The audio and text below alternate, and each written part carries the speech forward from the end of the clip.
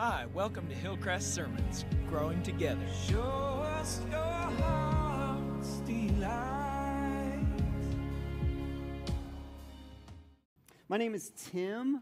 Uh, I am on the teaching team here at Hillcrest and love getting to unpack scripture with you all. You know, our heart, uh, well, let me back up a little bit. Every fall, we try to touch on shared direction, where we are going as a community. Um, what that even just kind of looks like, not just kind of 10,000, 30,000 foot level, but over the next few years and strategically and tactically, what things are happening around here. And we try to touch on that um, every September, just make sure the whole community is informed on the same page together. And our, you know, our heart here at Hillcrest is we want to be talking about things that really matter. We want to be talking about aligning our lives with, uh, with truth. We want to be talking about what's the best way to live. And so today, kind of as we dive into all those different things, I just want to I want to share from my heart. Um, uh, if you have kids, if you have grandkids, you have nieces and nephews, if you're involved in Treasureland 412, I need you to know this thing. I highly recommend you get magnet tiles in your home. I'm going to bring some magnet tiles up here. Maybe you're like, Tim, what are you talking about? Let me demonstrate for you. These toys are played with at my house more than any other toy. Who's got magnet tiles in their home? Yes? So these, and maybe you're like, these are little plastic. No, magnet tiles did not pay me to do any of this. Um, they're plastic, they have magnets, and um, there is no toy in our house that has got played with more than these magnet tiles. Uh, for years, I will come home and there are magnet tiles all over the living room floor. And then what ha- this the magnet tiles then become the land in which all the other cre- see there's a Siberian tiger in here with the magnet tiles.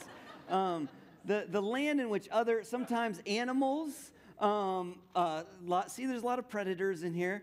Um, oftentimes the princesses are with the animals. Sometimes cars and sometimes you know at the same time, the cars and the princesses and the animals, you know, inhabit the same world together. But I'll come home, and it's, it's really common that I'll come home and there are just magnet tiles everywhere, and I'll, and, and I'll ask this question of my children What are you building?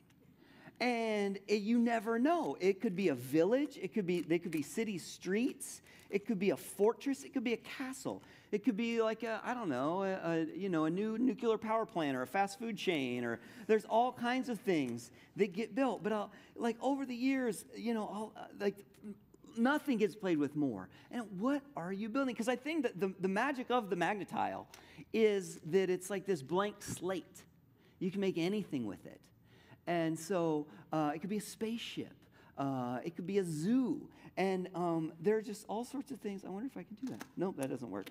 Um, but the magnet tiles, they get played with all the time. But, you know, I was even just thinking about this morning. I was thinking about talking about shared direction. Where are we going as a church? Our lives. And, and I just thought about this question I think is a simple and yet uh, valuable question to ask for every one of us. What are you building? I wonder, I wonder if in the quiet moments of our lives, it's not one of those questions that God whispers to every one of us. What are you building? I even think about, I think about the, mag, you know, I think there's all kinds of metaphors for life, magnet and life. Magnet tiles, it is easier to tear down what someone else is building than build your own thing. It, you know, and oftentimes that's a form of entertainment, tearing down what your sister's building. It's not. I don't recommend it, but, but it's true in life as well, right? It's always easier to be a cynic in the back row of life with your arms crossed and knowing how to tear down what other folks are building. But I think ultimately the, God, the question that God asks each and every one of us is, what are you, what are you building with your life? You know, He places us in this world with, you know, these passions, these talents, these experiences, this, this, this, this incredible uh, creation He has placed us in. All this potential to unlock. And I believe God asks us, what are you, what are you building? What home are you making? What next generation are you investing in? What institutions and communities are you building up?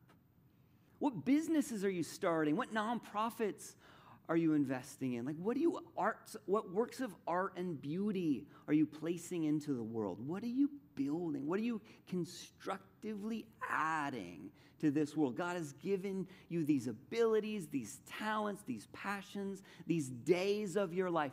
What, what are we building with it? I asked that question about my kids in MagTiles. I think God asked this question to each one of us. And I think it's a question that God asks individually. I think it's a question that God asks community as well. What are we building? You know, when you look at Scripture, um, you see that God is building something.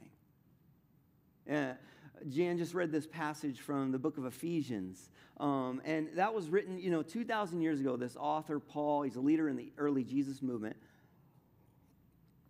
he's writing to this, uh, this community of Jesus followers in a town called Ephesus. It's in Turkey today. It was called Asia Minor back then, this pagan Greco Roman city. And these people have begun following this Jewish Messiah there in this community. They gather together. And Paul's written them this letter. And, and I want us to hear with this, this what are you building question in our minds. I want you to listen to this language that Paul uses when he's speaking to these followers of Jesus.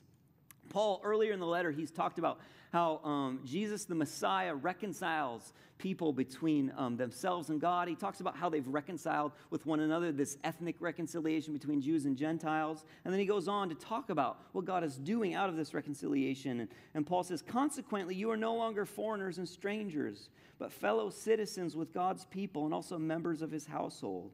And then listen to the metaphor that Paul uses. He says, You are built on the foundation of the apostles and prophets, with Christ Jesus himself as the chief cornerstone. In him, the whole building is joined together and rises to become a holy temple in the Lord. And in him, you too are being built together to become a dwelling in which God lives by his Spirit. Paul says God is building something. And what is the picture? He uses building metaphor. What does he say God is building with us? What's the, what's the metaphor he uses? He's building a.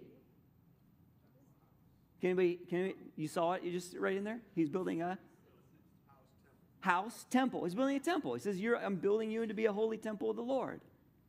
Um, and uh, this, it's this image that people, you know, I think in our day and age, we're not around temples a lot, but in, in for uh, first century Jews and Gentiles, temples were, that was an image they were familiar with. They were familiar with temples. For those in uh, Ephesus, the Artemision, this famous temple would have been then, this temple to Artemis. It was one of the largest temples in the, in the world. And for Jews who had uh, become followers of Jesus, they were familiar with the temple in Jerusalem. I think that, here's the next slide.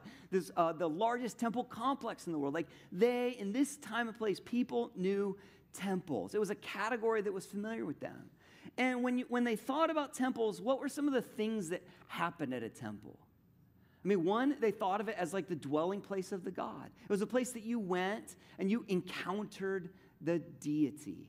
And you encountered the deity and you worshiped God there. It was a place of worship and, and of giving to God. You could call it sacrifice, but it was giving over to God. Temples were a place of learning, a place where people would go and they, they learn about God and learn how to walk with God. It was a place of community. You would go and meet together. Temples weren't a place you went uh, by yourself, you went and gathered with others there. But it was also, it, it uh, performed these larger functions as well. Temples were places where people could seek refuge if they were in danger. Temples were places of justice. Temples were places of generosity. The poor were meant to be cared for there. Temples were places of beauty. Some of the most beautiful architecture and art in these communities were at the temples. People had this concept of temple, a place of worship, encounter with God, a place of learning, a place of refuge, a place of justice, a place of generosity, a place of beauty. And then what Paul does, Paul says, because of Jesus, God is no longer dealing with physical building. It's not about physical buildings anymore. He's doing something with a people, with human beings and living community. And he says to these followers of Jesus, You now are God's temple. All those things that used to happen in these physical locations now happen through human communities. You are God's temple. And I think fast forwarding 2,000 years to those of us gathered together in Bellingham, Washington, following after Jesus together, I think God says to us, we are God's temple. God is still building something. God is building things individually with our own lives, and God is building something with us together, and He's calling us to participate. And, and you know, these, these Septembers, um, when we talk about shared direction, part of what we're doing is we're just talking about what, is, what do we sense God is building here? What do we sense God is calling us into? How are we participating with us? Because, because it, it, these things need to show up in really concrete, practical ways. Like they're both metaphors that operate at this 30,000 foot level, but they also need to show up. Like we believe in word made flesh. These things need to show up in the nitty gritty of our lives. And so we talk about how is this being lived out in the nitty gritty of our lives. And so that's what I want to do. I want to kind of take the rest of our time today and talk about how what do we sense God is building? How are we cooperating and participating in that together at Hillcrest? What are we building? So the first first thing I want to say about that is uh, there are some things that we're just kind of always building. Oh, we'll get to that in a second. Just back up. Yeah. Um, the, uh, the first, there's, a, uh, there's, a, there's some things that we're always building. Like we, you know, Hillcrest, love God, grow together, care for the world. This is what we're about. That's, and maybe, we'll, you know, maybe someday we'll change the verbiage, but the, the, the ideas behind that, that is what we're doing. We're loving God, we're, we're growing together, we're caring for the world. And there's ways that we express that Sunday worship, Sunday teaching, small groups where people find community and spiritual formation, um, care for kids in Treasureland, care for youth in 412, um, partnership with Chi Alpha, our campus ministry, partnership with Hillcrest Kids, our outreach to families and kids in this area. Like these things, these aren't going anywhere. This is what God is building over the long haul.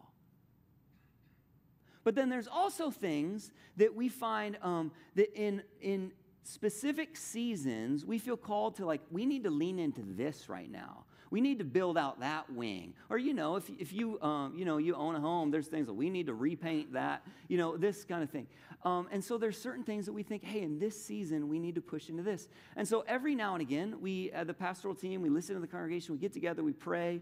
We last did this in the winter of 2021 and just ask ourselves, hey, in this next season, what do we sense God is building? What do we need to put extra energy and thought um, and prayer into? And that's, I want to I wanna share some of that. You, these are things that if you've been around, you've heard about before. Um, but uh, if you're new, this will be new to you and hopefully exciting. And if you've been around, it'll be kind of check ins on where these things are at. So we call this shared direction. And we have uh, this. Now you can go to the next slide. There you go. That's exciting. Uh, we got these little trifolds that describe where these are at. Can I have some folks to jump up here and help me pass these out? Actually, not even help me. Just kind of do this for me because I'm going to be standing um, up there still. Can you pass those around? So um, maybe like kind of one per one per household kind of thing. I think we printed. Uh, yeah, we printed enough for um, about that uh, ratio. So pass those out. Raise your hand if you want one. What this is, uh, this is called our, our shared direction five year plan when you open it up, what you'll see is the nitty gritty, the practical ministry initiatives that back in 2029 we set as goals. We said, hey, in this season, in this five year season, we sense we need to be moving towards these things. We need to put extra prayer into these things. We need to put extra resources into these things. We need to lean into these things. And, um, and then there's a, you know, some of these haven't been started yet. Um, we're just part year into this five year plan. Some of these are completed already, and some of these are in progress. And this morning, I just want to touch on some of the exciting ones that are in progress, just to update us where we are at. So as those continue to go out, uh, I'm going to just of start talking. I'm going to work. I'm going to start on the left. The left column is called bases, and the top one, uh, the top one on there says "Open a Hillcrest Church Internship Program." Next slide. There we go. Open number one. Open a Hillcrest Church. So this is something that we've sensed. Uh, we like we want to see uh, for the good of Hillcrest. Um, young leaders here being trained in ministry. And so we've been praying about this. Hannah Dreblo has been our staff person who's kind of taken the, uh, taken the lead on this. And I want to show you uh, the video they've uh, put together describing what this Foundations internship program is all about. So here we go.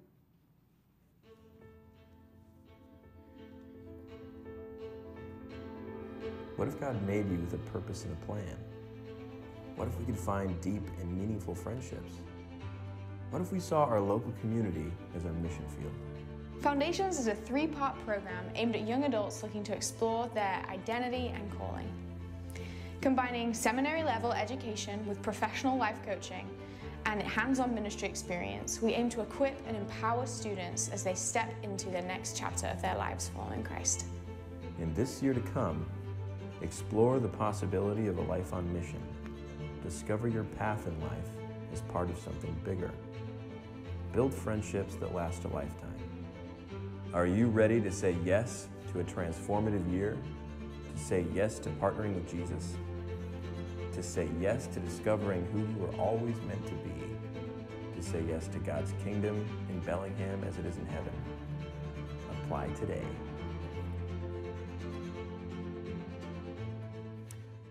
So that is a foundations internship program. There's an education component, a life mentoring component, and then like a practical ministry, you know, working in ministry component. And that has started like this weekend. Here's a picture of Hannah and our four interns. They're over in Montana right now. We're partnering with Yellowstone Theological Institute, it's a theological school over in Montana, to provide the education component of it. And this, so they actually start in Montana. So they're there right now, getting oriented. They're going to be with us in the next couple weeks. In October, we'll bring them up front and pray for them. But they're going to be serving in worship, in youth, um, in small groups, and in missions. We're really excited uh, for Foundations getting started. So this is the first year that that is kind of running in full. So that was the first thing I want to let you know about. The next thing I want to let you know, we're just going to jump down to number two there. It says, open new digital doorways for people to meet Jesus and enter into face to face Christian community. Um, you know, here, we believe a couple things. One, face to face, in person Christian community is a non negotiable. Like, we are meant to live in embodied community together. That is how God made us. That is, that is what we are about here at Hillcrest. Uh, we also believe that um, websites and social media, the digital world, is the new front porch of the church and we want to have a welcoming front porch one that's authentic that's not we're like we know we're never going to be the coolest church in town but we want to be authentic to who we are welcoming. Just a couple weeks ago if you're here we heard a baptism of a high school guy. He was sharing his uh, story of faith and he talked about the role of tiktok in his in his journey towards jesus. And it's like we want we want more stories like that. We want to be part of that. So there's a couple things that are happening. One um, you'll see two what is it 2a establish a young adult media team. Um, we brought brought on Macy McMillan to run social media for us this year. That just started this fall, just again, having a good front porch. And then 2B, reimagine, rebuild the Hillcrest Church website. That is happening as well. Um, Dave Green and Austin, uh, Strier, Stryer, I'm not sure, yeah, uh, are there working on the website redesign, and so that'll be coming out in the next year as well. It's just having a good front porch for people um, to come into community. Oh, I don't, did I say? I think I skipped this really important part. There's all this, so pause. I forgot to say something that's really important. Um, so many things in my brain. Uh, the, the overarching, the whole overarching idea behind this five year vision, we articulate it this way. You see all this bridge and table language? The whole kind of overarching idea is building bridges and setting tables to nurture relationships with Jesus and his people for generations to come. So, building bridges, setting tables to nurture relationships with Jesus and his people for generations to come. That's, that's why you see all this bridge and table language um, popping up. The whole thing that overarches the whole five year plan is how can we be outward focused, build bridges and set tables, invite people into an encounter with Jesus and his community. And so, all these are different what does that look like? How do you do that? Um, so once again, Foundations internship is part of that. Uh, digital welcoming front porch is part of that. That is how these things all fit together. So let's see. I'm going to move. Let's move over to the center column. Bridges and tables. Number two, make it easier to find bridges into and places at the table within Christian community. For a while, we've said, hey, we need like some small group type experiences for people who are just asking questions about faith, exploring faith. One of the, one of the kind of uh, you call it a curriculum, but like materials that have been developed that do a really good job guiding conversations around that. It's called Alpha. Alpha is essentially just a guided conversation for people who are learning about Jesus, asking questions about faith, creates a safe and open place to explore where does, where does Jesus fit into my life? Who is Jesus? And so we've been wanting to start that for a while. Alpha started last wintertime for the first time here uh, in a while, and it's running again this fall. And we're really excited. It's setting tables where people can come and have safe conversations being introduced to Jesus. Uh, let's see, right underneath that one. Number three, begin a ministry focused on the leading edge of the next generation, 20 somethings and young adults. This is something the pastoral team, we've been praying about this. We've had some great young adult, like 20 something small groups. I know Hannah and Michael ran one that was just overflowing with people uh, last fall. And now we've got three different ones uh, up and running uh, this fall that we're really excited about. And then kind of around, there's the, we've got these small groups and kind of the hub of the wheel in terms of 20 somethings is this ministry called Rooted um, that has been a good gathering place for people of that generation. And I wanted to just invite up one of the leaders of Rooted uh, just for you to meet this morning. So, Lindsay, you want to come on up here and just share who you are, the vision of Rooted, and what is going on. Lindsay, and just, I know I've said this to you, but this is really an answer to prayer, um, the work that you've been leading. So, here, you want to sh- introduce yourself and, Yeah, and just share? Here, why don't you come up here where everybody can see you? I'll get out of the way. Okay. Yeah. Hi, thank you so much for having me. Uh, my name is Lindsay. Um, like Tim just said, I am a part of the planning team for our Rooted Young Adult Ministry. Um, and it's so great to hear that this has been an answered prayer for Hillcrest. I can say confidently that we've also heard that from a lot of our young adults saying the exact same thing, that they were looking for spaces to meet people. And so it's been such a blessing to be a part of this ministry. Um, when we were beginning the process of planning something like this ministry, we just felt confident that um, there are a lot of things trying to capture the attention of young adults, uh, lots of things that are saying this is what you can put your identity in, this is where you can put your trust. Um, but we believe that Jesus is for our generation, and we believe that He is for our young adults, and that He wants to use our generation to further expand His kingdom.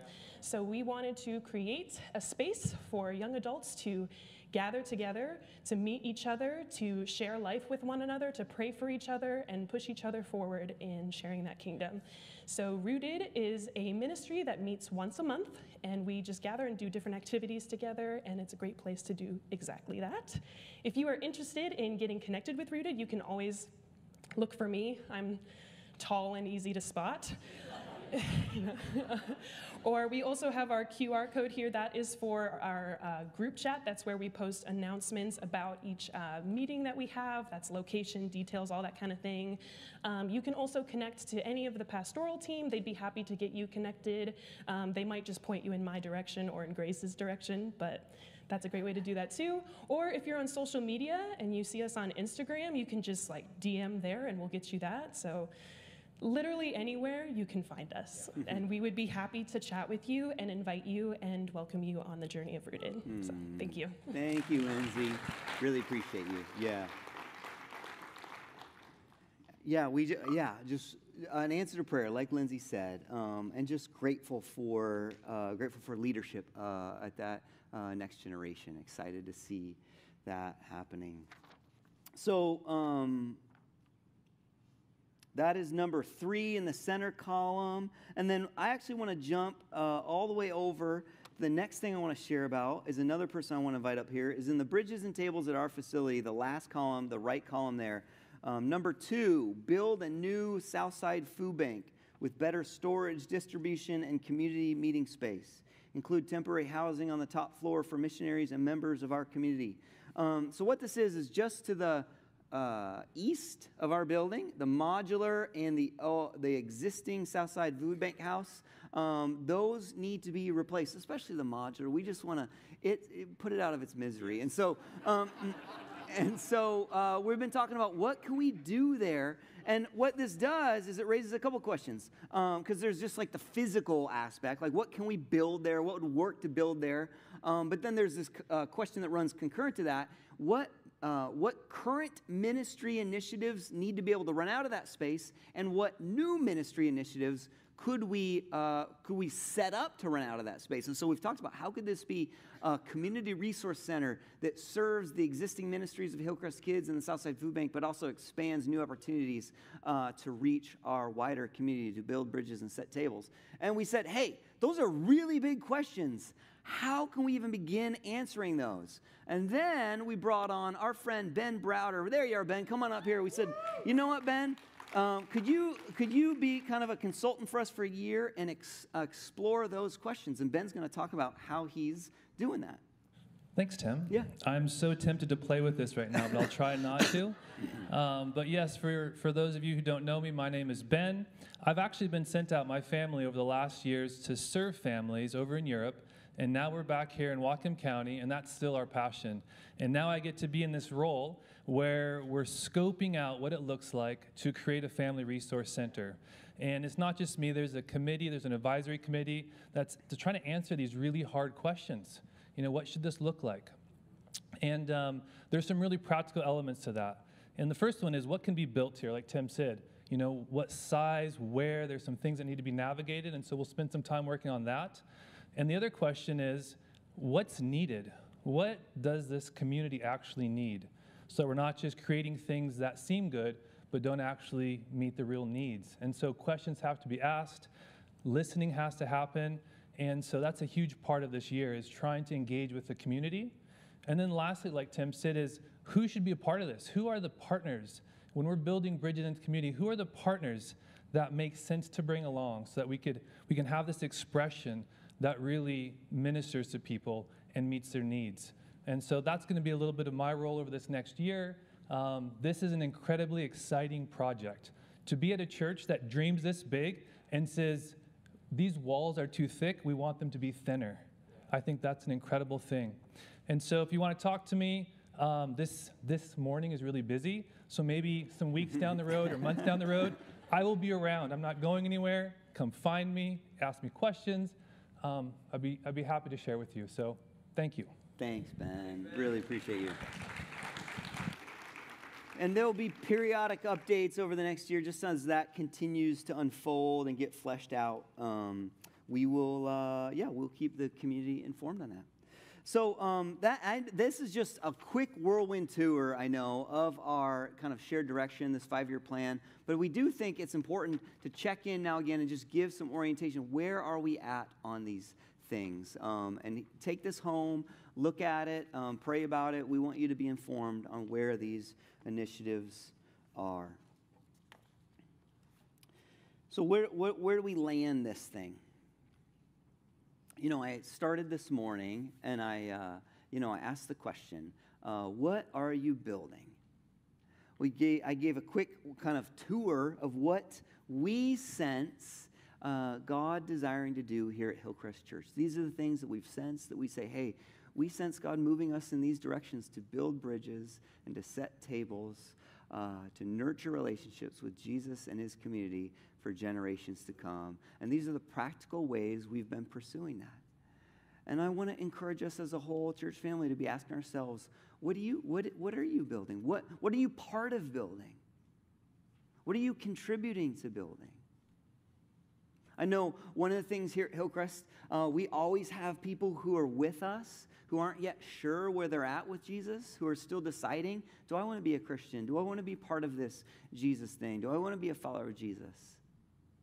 And for those who are with us today that, in, that are at that place, I hope this has been an interesting kind of look under the hood of, of how churches think about accomplishing their mission. But I would encourage you, if you are in that place, if you're like, I don't know, I don't know if I trust Jesus, I, want to, I don't know if I want to follow this person, I would please ask yourself the question what are you building? Because everybody's building something, or everybody's tearing other Magna houses down. Everybody's doing something with their life. Our world is better when people can answer the question I know what God has called me to build and to be part of. I know what God is building with my life, and I am participating with Him.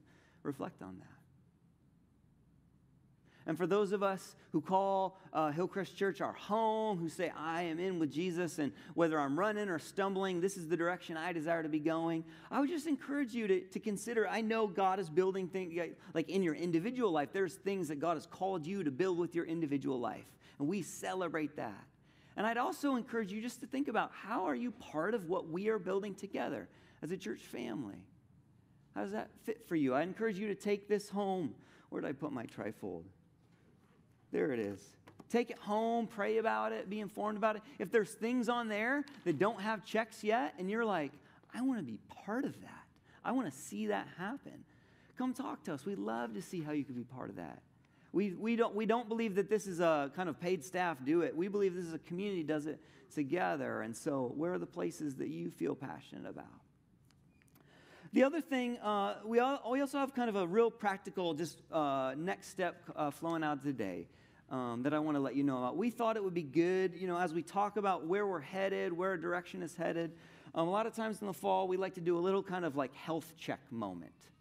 And so we've got this uh, 2023 uh, kind of health check survey that we'd encourage everybody to do. You actually uh, received an email about it this morning. Well, that is, if you've ever given us your email, you received an email. Some of us like, I like to fly off the radar. I know, I know who you are. That's okay.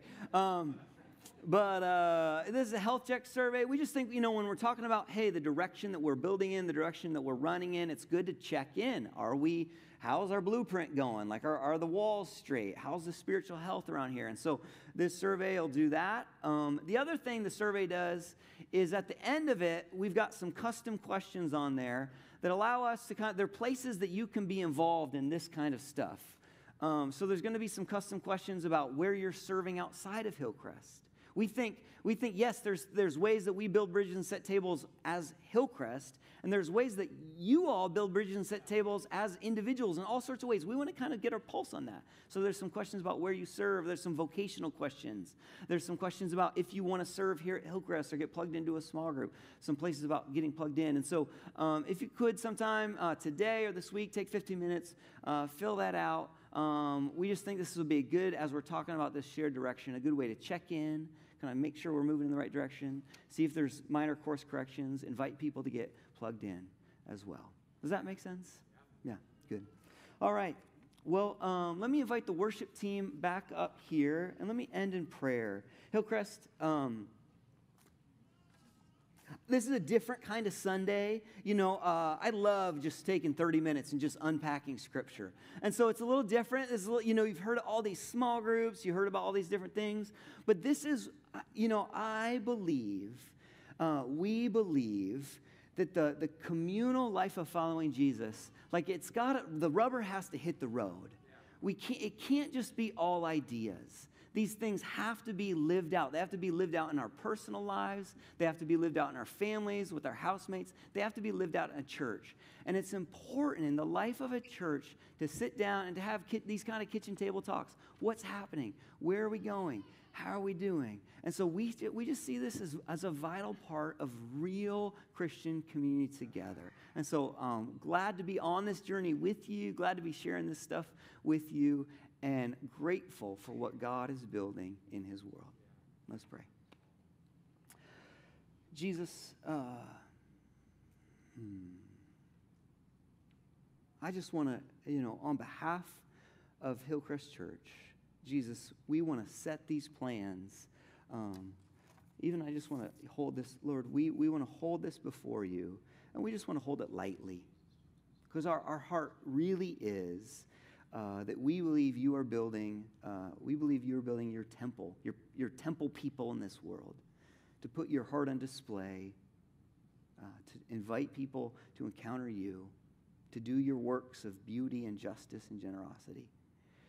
Jesus, we want to be part of that. We see you doing that in us and among us. Jesus, these things that we've talked about today are ways that, that we think we're, per, we're cooperating with you and participating with you. But Lord, if there's places we're wrong, we need to change direction, Lord, would you show us? And Lord, those things that you are like, that is exactly what I'm doing. Would you just give it your, your Holy Spirit energy behind it? We lay down uh, our plans uh, at your feet, Lord, and ask for you, your kingdom to come and your will to be done. Help us walk with you faithfully. In your name, amen. Thanks for listening. For more info, visit hcbellingham.com and join us any Sunday, 9 and 11 a.m.